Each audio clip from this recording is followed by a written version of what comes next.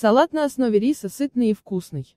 Может быть подан в качестве закуски или как альтернатива ужину, приготовленному на скорую руку. Ингредиенты доступны, процесс приготовления простой. В салат добавляем зелень ассорти. Подойдет укроп, петрушка и черемша.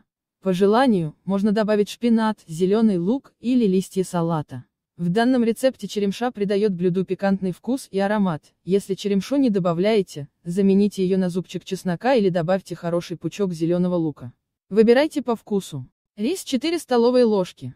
Колбаса вареная, 150-200 грамм. Перец болгарский, первая часть. Зелень, 1 пучок. Орехи грецкие, 2-3 штук. Масло оливковое, 3-4 столовые ложек. Соевый соус, 1 столовая ложка. Перец черный, 1 щепотка. Количество порций 3. Подготовим ингредиенты.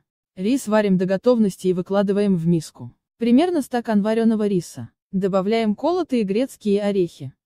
Перец режем небольшими кусочками и выкладываем в миску. Зелень моем режем и высыпаем в салат. У меня укроп, петрушка и черемша. Добавляем нарезанную кубиками вареную колбасу. Для заправки салата используем оливковое масло и соевый соус. Салат посыпаем черным молотым перцем и перемешиваем. Салат готов. Приятного аппетита!